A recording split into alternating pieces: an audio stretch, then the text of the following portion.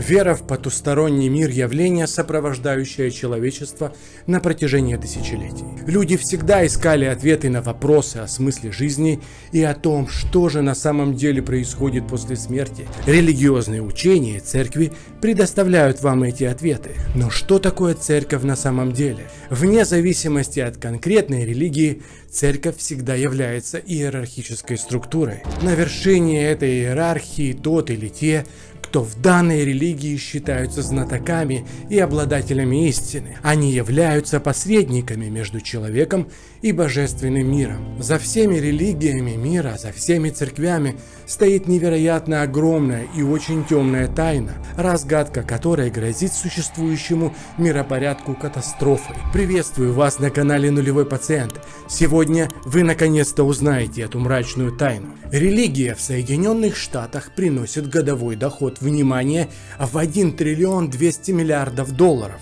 что сопоставимо с 15 по размеру экономикой мира, что превышает доход 10 самых больших технологических компаний мира, включая Apple, Amazon и Google. Такая цифра возникает при расчете всех зарплат, помещений, школ, церквей, образовательных и благотворительных программ, халяльного и кошерного рынка, а также многого другого. Религия, вера и церковь – самый выгодный бизнес из всех существующих на планете, так как он продает лишь надежду. А для промышленного производства надежды не нужны материальные мощности и ресурсы. Все было создано до нас, и нужно лишь правильно использовать наработанную схему. С Европой дела обстоят не хуже, чем с Америкой и цифры в графе «заработок» для европейских церквей исчисляются в годовом выражении в сотнях миллиардов евро. Еще в 2015 году, например, только немецкие католики и евангелисты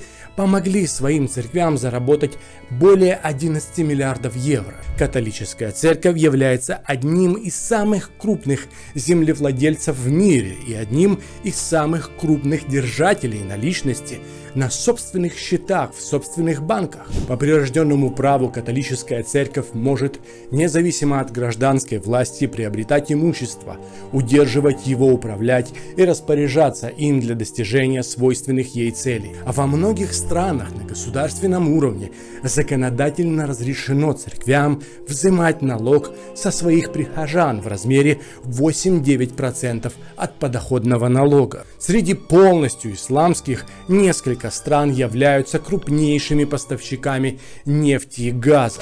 На государственном уровне во многих мусульманских странах осуществляется финансирование исламской церкви. Практически во всех странах мира священнослужителям, монахам и монашкам платится зарплата. Например, в США зарплата монашки начинается от 24 и достигает 65 тысяч долларов в год в среднем. Не стоит забывать, что жилье, а также еда и культовая одежда предоставляется священнослужителям бесплатно. Я ни в коем случае не забыл о православии, которое уже много лет купается в безумной роскоши, и цифры ее прибыли ввиду отсутствия достоверной информации просто невозможно посчитать. Конечно же, речь идет о десятках миллиардов долларов прибыли в год. Религия – самый выгодный бизнес на Земле. Верующие – это рынок. Верующие могут существовать без церкви, а вот церковь без них нет. Верующие для всех церквей – это источник жизни, смысла, денег и власти – для того, чтобы одни коровы не потерялись среди чужеродного стада, когда они гуляют по огромному пастбищу, хозяин клеймит их, оставляя авторское клеймо, указывающее на принадлежность коровы к определенному хозяину. У католиков, когда ребенок рождается, его следует как можно быстрее покрестить, то есть сделать католиком, так как если этого не сделать и младенец умрет, он попадает не в рай, а в лимб, это не ад, но место малоприятное. Там обитают все хорошие люди, родившиеся до появления Христа, или же просто хорошие люди, не крещенные, которые погибли. В средние века верующие и неверующие люди видя запредельную детскую смертность от самых пустяковых болезней и инфекций, желая, чтобы их отпрысков ждал лишь рай, спешили как можно быстрее покрестить после рождения собственных детей. Так те становились католиками или же христианами других конфессий. В иудаизме мальчиков обрезают на восьмой день жизни, если нет противопоказаний по здоровью. В исламе нет четкого предписания, когда нужно осуществить обрезание, однако пророк Магомед рекомендовал проводить эту процедуру в раннем возрасте. Сам он обрезал своих сыновей на седьмой день жизни. Мне кажется, обрезание уникальной процедурой, ведь благодаря ей не только ставится клеймо, привязывающее человека к определенной церкви, но это еще и позволяло в древности понять самке, с каким самцом она точно спаривается, во что он верит и во что будут верить ее дети от этого самца. Все авраамические религии, которым принадлежат души более половины населения планеты Земля, клеймят своих представителей через различные ритуалы. Чтобы не упустить, так сказать, будущую дойную корову, ритуал клеймения необходимо провести как можно раньше, чтобы человека просто не было выбора, чтобы он не мог сам принять решение. Когда взрослый человек, понимающий, что у него никто не спросил мнения, вдруг решает, что он не хочет быть частью какой-то веры, он обрекает себя, по мнению верующих, на очень страшное будущее. Ведь отвернуться от своего Бога страшнее грех, чем некрещенный ребенок, попавший в лимб. Удобная схема, правда? Вся жизнь человека – это очень затяжной и долгий прыжок из утробы матери в гроб. Если вам повезет, этот прыжок будет длиться 80-85 лет. В этом мире это очень хороший показатель. Основное количество прыгнувших весьма часто будут думать о смерти – и это будет пугать их. Несмотря на заверения религии, церквей и тексты священных книг, у нас нет никаких доказательств того, что жизнь после смерти существует. Для человека нет ничего более пугающего, чем небытие. Даже, наверное, ад не так страшен, чем полное несуществование. Но можно не переживать, так как клеймо, полученное в детстве от одной из церквей, позволяет заручиться надеждой и иногда даже уверенностью, что твоя религия и церковь подарит тебе вечную жизнь. Нечто, что так желают получить все верующие миры. Да, самое интересное, все религии мира, которые под себя подминают 98% верующих, это прежде всего вера в жизнь после смерти.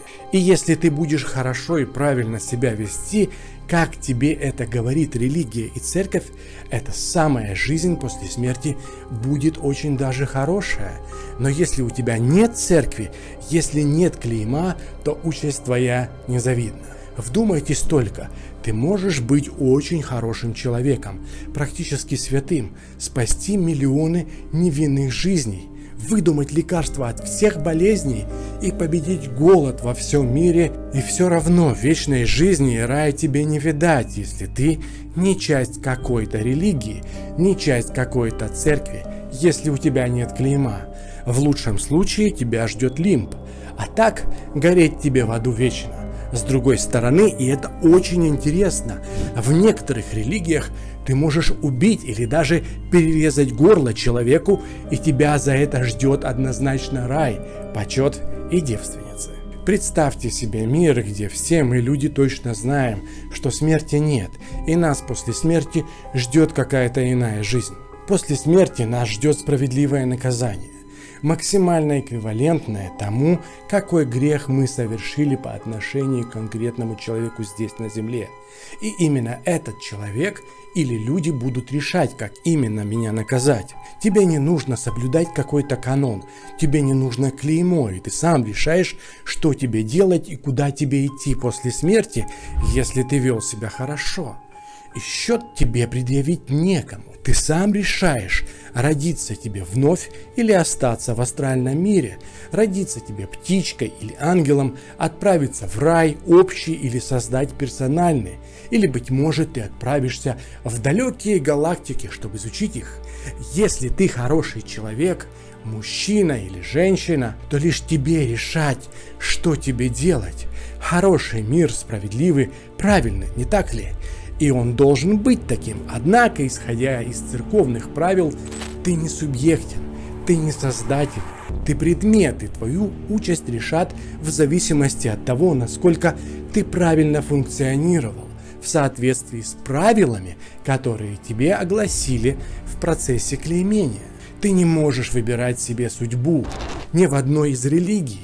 То, как ты можешь ее прожить, чтобы обеспечить себе вечную счастливую жизнь, уже предписано. Совершая иной выбор без выбора, ты обрекаешь себя всегда на страдания. Иной опции просто нет. Или так, или так. Церковь, религии и те, кто за этим стоит, это всегда диктат. Что по сути есть вера и религия? Конечно же, это надежда. Надежда на справедливость в нашем очень несправедливом мире. Надежда на счастье в мире, где почти все несчастливы. Надежда на покой в мире, где очень неспокойно. Надежда на вечность в мире, где хорошие вещи очень быстро заканчиваются. А еще, и это очень важно, это надежда обрести вновь людей, которых очень любил, но утратил. Я знаю атеистов лично, которые были такими до момента, пока они не потеряли тех, кого бесконечно любили. После этого они становились верующими, ждущими вновь встречи с любимыми. Безумная тоска и самые чудесные воспоминания фактически делали их верующими. И в этом смысле, конечно же, вера и религия очень хорошие явления. Куда лучше, чем отчаяние и безверие. Плохо другое. Если ты хочешь это получить, то ты должен строго выполнять условия и заслужить благосклонность богов и их подопечных. Даже здесь, на грешной земле, к самым страшным педофилам и убийцам пускают родных и близких на многочисленные свидания – есть даже супружеские визиты, когда заключенный или заключенная и вторая половинка могут провести друг с другом не один час и даже не один день. За подобные опции церковь и религии требуют лояльность и строгое соблюдение канона. С другой стороны, есть те, кого адские муки пугают больше, чем тюрьма. Эти люди ведут себя хорошо лишь боясь того, что Бог все видит Исходя из этого, вывод можно сделать только один.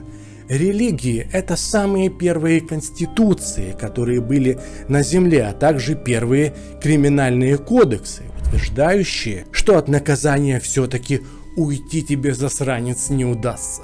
Но несмотря на все трудности и вопросы, у каждой веры есть свой смысл, своя глубина. И вот здесь я хочу обратить ваше внимание на мою книгу Самаэль «Биография сатаны». Это мистический триллер, который, безусловно, сможет удивить вас и заставить размышлять о вещах, которые давно были скрыты от вашего взгляда. Понимаю, что можно подумать, но это все-таки не автобиография. Эта книга стала бестселлером, который заслужил своим сюжетом не только положительные отзывы тысячи читателей, но и критиков. Вы можете узнать больше об этой книге и приобрести ее, перейдя по ссылкам в описании под этим видео. Пророк Моисей убивал людей собственными руками и был причастен к убийству египетских младенцев. Пророк Магомед был полководцем, участвовавшим в кровавых битвах. Один из самых значимых христианских святых Иоанн Златоуст сказал, убийство по воле Бога лучше, чем любое человеколюбие. Если ты поступаешь так, как велят тебе боги, даже если это убийство детей, это хорошо и правильно. За это тебя после смерти, а может и при жизни, щедро отблагодарят. Вполне возможно, ты даже станешь главным пророком какой-нибудь религии, несмотря на то, что пропагандируешь Бога, который на самом деле больной на голову кровавый психопат. Церковь является устами Бога на земле, и именно она решит, можно ли кого-то убивать в крестовых походах, кого можно распять и за что именно, кому можно отрезать голову и при этом заслужить любовь Бога. Церковь решает даже порой, когда тебе жить, а когда умереть. Боги никогда не говорят сами, вначале они говорят только через своих пророков, потом через книги, а далее через церковь. И ты должен будешь поверить в это и соблюдать, если хочешь получить то, что было обещано при клеймении. Вначале ты покупаешь надежду, а потом, возможно, то, что она в себе содержала – расплату за лояльность конкретному стаду и исполнение конкретных правил. Удивительно, но такая жизнь весьма мало чем отличается от обыкновенной повседневной светской жизни каждого из нас. Нет ни одной священной книги, которую бы написал какой-то бог сам. Все они написаны пророками, людьми. Нет ни одной такой книги и свода правил и событий, которые бы не трактовали церкви и священнослужители. Коран, Евангелие, Тора, Брахагават, Гита. Огромное количество текстов было написано позже людьми, которые, как они считали, могли интерпретировать святые писания. Далее эти интерпретации становились правилами и каноном церкви, о которых изначально пророки или боги даже и не говорили – и, конечно же, это всегда было направлено на укрепление власти конкретной церкви, но никогда на ослабление. Очень удобно. У меня вопрос к верующим. Что ваш бог или боги, что ваши ангелы делают без людей? Вот так же, как было, например, с динозаврами. Прилетел метеорит и всех людей уничтожил. Все, никого из нас больше нет. Ваши боги и ангелы занимаются хоть чем-то, кроме людей – у них есть какие-то хобби, они чем-то увлекаются, может быть каким-то спортом, ходят ли они на свидания и в кино? Ответ нет. И это очень категоричный ответ. Все без исключения религии, информация об их мистической части связана с людьми. Бог создает человека так, как ему скучно, или потому что ему нужна помощь, а потом он ноет, потому что страдает из-за того, что мы плохие, а потом нужно создавать рай и ад для нас, засранцев, чтобы наказывать и поощрять. И он не отваливает ни на секунду. Он все равно командует нами и живет с нами даже в раю. Ну или мы с ним. Вся его жизнь это мы. Весь метафизический мир это взаимодействие с нами, из-за нас и обслуживание процессов, связанных с нами. Мы в этом плане более самостоятельны, и порой друг друга нам для жизни вполне достаточно. Бог не может существовать без людей.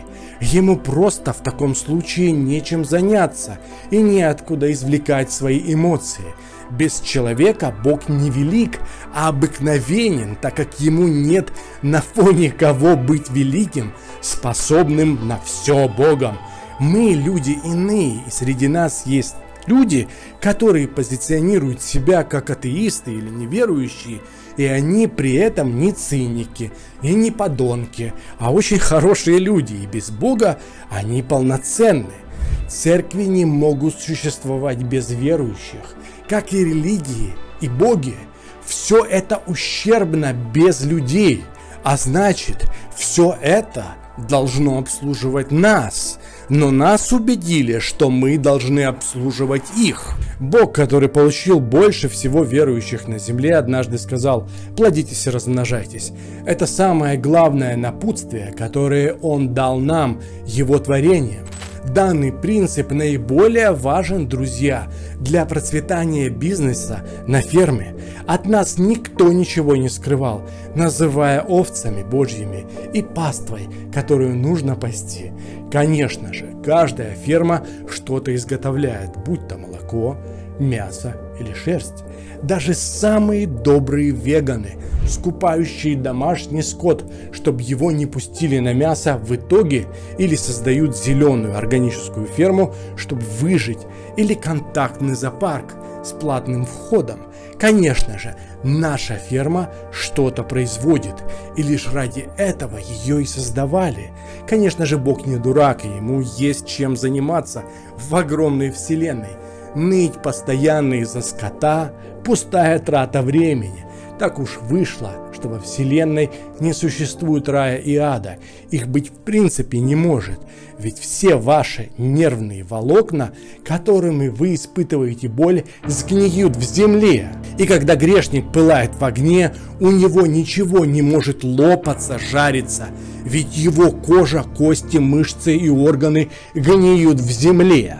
Но для скота, дабы добывать то молоко, которое нужно, следует создать рай и ад. И это самая идеальная манипуляция, которая позволяет добывать молоко нужного качества. Во всех религиях есть инструкция, как нужно себя вести, что есть и с кем спать. Соблюдение такого образа жизни позволяет корове давать очень высококачественное молоко, а точнее элемент, ради которого и существует, ради которого и создавалась эта ферма и каждый из нас. Давая высококачественное сырье, вас отблагодарят после смерти. Церковь получает взамен власть, деньги и безнаказанность, так как она способствует увеличением надоев молока, способствует тому, чтобы Ферма работала стабильно, а коров становилось все больше. Следует быть откровенным и называть вещи своими именами. Никто в Бога не верит. И никто в Него не верил бы, если бы точно знал, как обстоят дела на самом деле. Среди мусульман появляются открытые геи. Недалеко от Мекки пляшут наркоманы на фестивале танцевальной музыки Middle Beast. Папа Римский не осуждает геев Иудеи едят иногда свинину. Буддийские монахи изготовляют и распространяют через свои храмы наркотики. Всем на все наплевать, и любой вопрос веры решается определенной суммой в долларах или же возможностью жить хорошо. Если речь идет о роскоши, то тут не устоят никакие верующие и священнослужители. Хорошие дорогие вещи любят все. В мгновение, когда у нас появляется возможность получить это, Бог может и подождать. Все это понимают частные самолеты, роскошные лимузины, лучшие гостиницы во время зарубежных визитов, дорогие резиденции в разных странах мира, часы, яхты и обожания – все это предоставлено в распоряжении высших клириков различных религий, и каждый, кто является частью этого мира, будь то монах, монахиня, мула, гуру, лама или рэбе, желает подняться как можно выше – где все это станет принадлежать ему. Чтобы это получить и ни в коем случае не потерять дойных коров, можно и уступить многим принципам. Католическая церковь больше не осуждает геев, а в Саудовской Аравии уже спокойно можно ходить приезжим женщинам без хиджаба, а также, если вы того пожелаете, можно купить кокаин в отличном качестве. Я это знаю из супер достоверных источников. Эй, расслабьтесь. Нужно идти в ногу со временем и не терять же власть, деньги и молоко только по той причине, что мы не можем немного подвинуться в наших взглядах на этот мир. Это очень нерентабельно, и все церкви мира это понимают. Поэтому в будущем мы будем видеть не только, как на исламской земле возводят единый храм трех религий, но и более серьезные демократические и либеральные изменения. Приготовьтесь, это ждет все церкви. Все лишь бы современная паства, идущая в ногу со временем, была довольна и оставалась церковью. Бог, увы, не всесилен относительно той силы, которая могла бы быть у него, но он всесилен относительно той силы, которую абсолютно считает человек.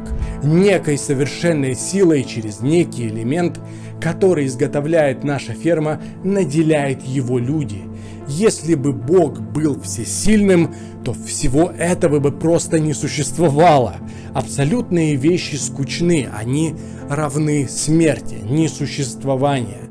Поэтому наш Бог не абсолют, и Он нуждается в нас больше, чем мы в Нем. Ему незачем страдать из-за наших грехов, Он и не страдает. Он мог бы остановить все мировые войны одним своим появлением. Он мог бы предотвратить все катаклизмы, убивающие людей, а также мог бы избавить всех нас от болезней. Но он не будет этого делать. Почему? Потому что все процессы на ферме идут своим чередом и идут, следует сказать, идеально. Страх, горе, чувство вины, мучение и страдания, надежда на жизнь после смерти, вера, мольба, конфликты, боль – все это всегда будет частью нашей жизни, так как именно это доит из нас молоко, то, что ему от нас больше всего нужно – все без исключения политические решения, религиозные и наиболее знаковые, конечно же, принимаются и происходят на фермы в интересах хозяина фермы, вашего бога, земляне. Все, что нас контролирует, политика и религия, бизнес и власть во время самых больших сборов урожая молока объединяется воедино, дабы сделать все так, как велит им их Бог – Война – время, когда все объединяются, чтоб скот терял как можно больше молока. И когда речь заходит о деньгах и власти, церковь ради власти и войны с удовольствием меняет свое отношение ко многим вещам, которые для нее были, казалось бы, нерушимыми. И это нормально, потому что когда разговоры и проповеди заканчиваются и приходит время сути, все прекрасно понимают суть лишь в одном – во власти, деньгах, возможностях и элементе, который должен принадлежать тому, кто эту ферму и создал. Наше дело терпеть и идти тем путем, который нам предначертан. Ты, человек, не можешь быть свободным. Ты никогда не будешь на вершине пирамиды. Тебе никто не даст этого сделать. Размножайся, потребляй, страдай, сдохни. Получил немного вознаграждения и по новой. Тебе, человек, никогда не дадут прыгнуть выше головы. И твои собратья, верующие и не очень, церкви и религии, власть проконтролируют это – как только у тебя появится возможность прыгнуть выше твоей головы, и эта возможность будет реальной, случится финальная жатва, финальный забой на ферме, после которой на ферму будет заселено новое поголовье максимально послушного скота. Зло и страдания, всевозможные проблемы будут на этой планете всегда, потому как для источника этого зла это совсем не зло, а часть отлаженной схемы, функционирование фермы. Нечто, с чем мы имеем дело настолько велико, сильно и масштабно, что мы не можем этому сопротивляться и противостоять. За все время существования фермы лишь одна корова воскресла по собственному желанию. А по научным данным, за все время существования человечества нас родилось и умерло 100 миллиардов человек. Одна корова из 100 миллиардов. Мы безнадежны. Поэтому все продолжится и будет лишь усугубляться. Все то, что пугает коров, благодаря чему надои увеличивается. Хороший отец или мать никогда не позволят своим детям проходить через подобное. Наверное, дело в том, что мы как раз и не дети. Как коровы фермеру не дети, а источник дохода, сытости и жизни – так и Богу и церкви мы не дети. В индуизме есть прана, в китайской медицине и философии энергия ци. Кто-то называет это маной небесной, кто-то Духом Святым. В многочисленных древних учениях со всего мира есть информация о чем-то, что необходимо человеку, чтобы быть полноценным, жить счастливо и иметь доступ к мистическому и духовному миру. Однажды Франц Антон Месмер, человек, создавший гипноз и теорию магнетизма, утверждал, что это нечто, способное изменить судьбу человека, если тот захочет. Быть может, тот, у кого этого некого элемента много, он и способен изменить свою судьбу и, например, воскреснуть, когда посчитает нужным.